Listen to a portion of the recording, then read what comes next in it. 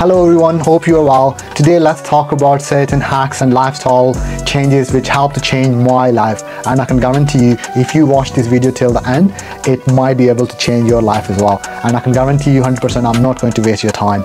Your health, your energy, your mood, everything can be changed. You live healthier, you live more, you enjoy your life every single moment. But it starts with one single thing, your belief and your mindset. If you believe your job will pay you at the end of the month, you will work hard. And if you don't believe your job is not going to pay you at the end of the month, you will quit the job immediately. Please keep watching till the end and it will all worth it. I'm not here to give you fairy tale healthy tips like just eat this pill, this is a magic pill, everything will be fine.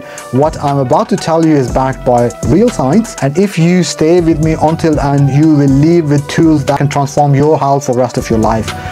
You are in charge of your life. The choices you make today will decide your future. The good ones may be harder one now, but they pay you back for the rest of your life. You will have better health, better energy level in the years ahead.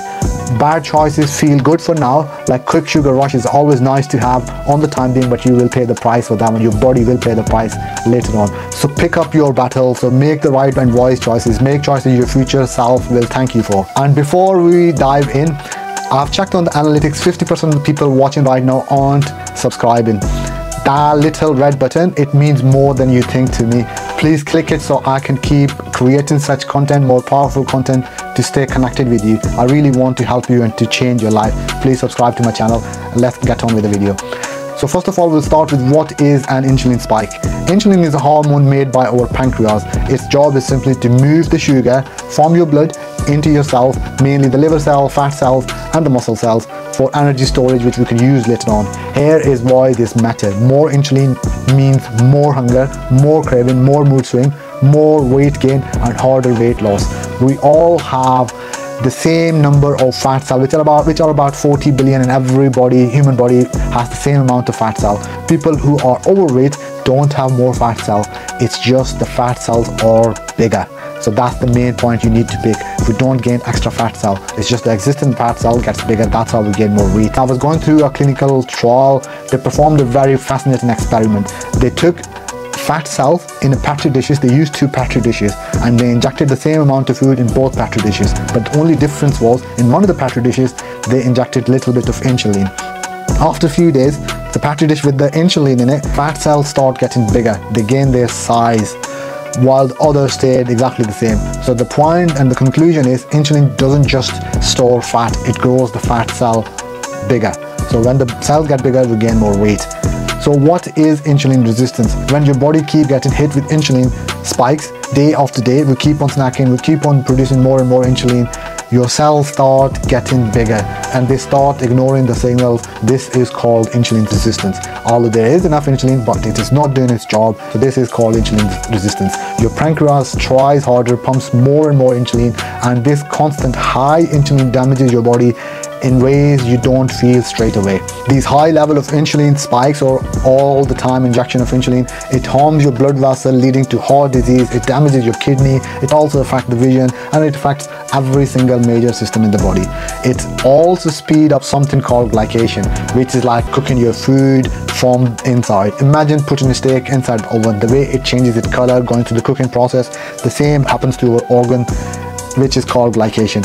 So insulin spike, they speed up this glycation process. We feel older and quickly. In our body, sugar sticks to protein and damages them, accelerate aging, wrinkling and organ damages. That is all associated with extra insulin spike or insulin resistance. The next danger associated with the insulin spike is energy and inflammation.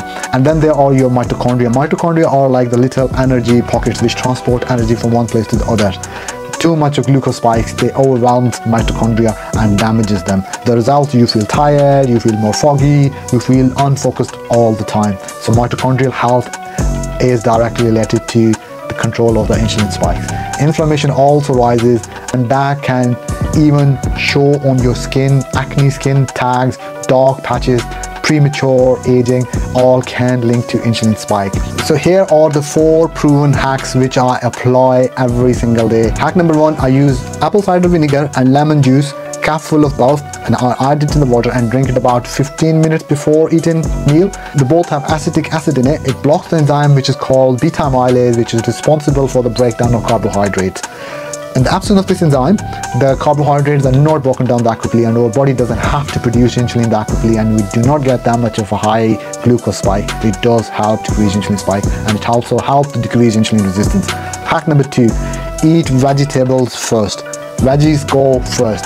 Try to eat them about 15 minutes, 10 to 15 minutes before eating the food. They make a mesh around the food and won't let the carbohydrates or the sugars to broken down too quickly to get into the bloodstream and it helps to decrease the glucose spike, hence it leads to decreased insulin production. Hack number three, make sure you walk 15 minutes, at least 10 to 15 minutes after every meal. Your muscle soaks up energy like sponges. Reduce insulin spike straight away and you're, you are basically whatever quick glucose is produced, your body is using it when you're walking and it won't produce too much of stress on the pancreas to inject so much insulin. Hack number four, manage stress and sleep. Poor sleep and high stress raises the stress hormone called cortisol, which keeps insulin very high. Sleep better, stress less, and pancreas will be healthier for a longer period of time. And in the closing sentences, your body is the one place you have to live forever. Protect your body, take care of your body, it will take care of your interests, your future endeavors. Invest in it and it will protect you for decades. Control insulin spike isn't about perfection, it's about consistency, it's about continuity. These four hacks are simple, free, and proven. I've tested them on myself. I've read lots of articles and journals to get to this conclusion. That's why I'm giving you this information. If you believe in them and stick with them, your energy will go up, craving will go down, and your future self will be grateful. No PCOS, no fatty liver disease, no mood swing. Your waist will go down, your weight will come into control. Good choices aren't always easy, but they are always worth it. Believe in yourself, take action today. Let's win this battle for our health together. And if you haven't already hit the subscribe button, you can keep walking the journey side by side with me please subscribe to my channel and if you have any questions which you're not sure about please leave in the comments i will try my best to help you out together we can have a better and healthier life. Thank you very much for watching